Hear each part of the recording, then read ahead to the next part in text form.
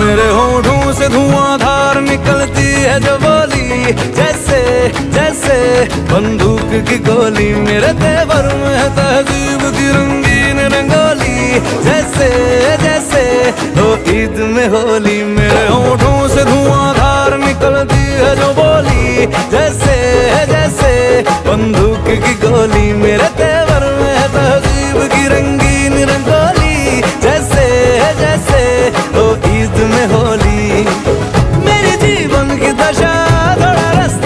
नशा थोड़ी मंजिल की प्यास है।